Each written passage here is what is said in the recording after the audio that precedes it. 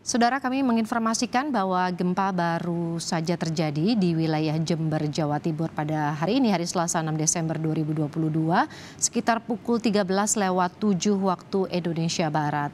Dari data yang diperoleh, Badan Meteorologi, Klimatologi, dan juga Geofisika, gempa ini mencapai 6,2 magnitudo.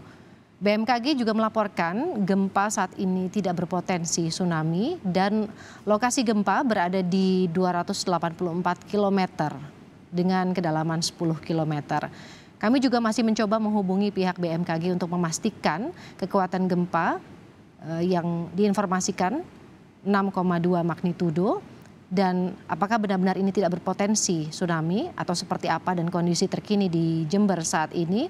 Tapi kalau kami bisa melaporkan, ini lokasi tepatnya berada di 10,75 Lintang Selatan dan terjadi sekitar pukul 13 lewat 7 waktu Indonesia Barat.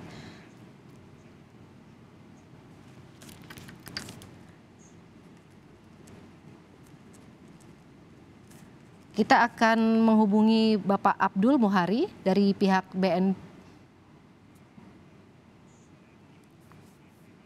dari BNPB. Bapak Abdul, selamat siang. Selamat siang, Mbak Woro. Pak, kami mau konfirmasi ini gempa terjadi di Jember, kekuatannya 6,2 magnitudo, benar demikian? Uh, iya, dari mungkin ada revisi dari 6,0. Baik. Berapa Pak kalau dimutakhirkan? 6,0. 6,0. Nah, ya. Sebelumnya juga BMKG menyatakan ini tidak berpotensi tsunami. Apakah ya. ini juga sudah dikonfirmasi oleh pihak BNPB? Iya, uh, jadi uh, gempa ini dari hasil uh, sementara pengamatan uh, BMKG yang juga berkoordinasi dengan BNPB. Uh. -huh. Ini posisi dari uh, gempa ini berada di tengah laut. Jadi ini di lokasi pertemuan lempeng samudra dan lempeng benua selatan dari Jember. Tetapi posisi epicenter ini sebenarnya ada eh, sedikit di luar eh, zona pertemuan lempeng. Jadi masih ada di lempeng samudra. Nah karena ini cukup jauh dari daratan, kami sedang berkoordinasi dengan BPBD Jember. Memang ada dirasakan guncangan tapi tidak signifikan sehingga kita mengharapkan tentunya uh, tidak ada laporan kerusakan yang nantinya kita terima karena magnitude 6 jaraknya cukup jauh dan gempa ini uh, dari pusatnya epicenternya sekitar uh, di atas 100 km lepas pantai Jember.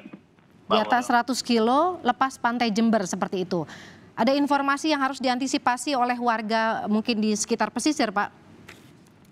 Untuk sementara kami rasa karena gempa ini magnitude 6, uh, sedangkan syarat untuk terjadinya tsunami secara umum, secara umum itu magnitudenya harus lebih dari enam setengah, memang kedalaman di bawah 50 km, tetapi magnitudenya harus lebih besar ya. uh, supaya bisa memindahkan uh, kolom air.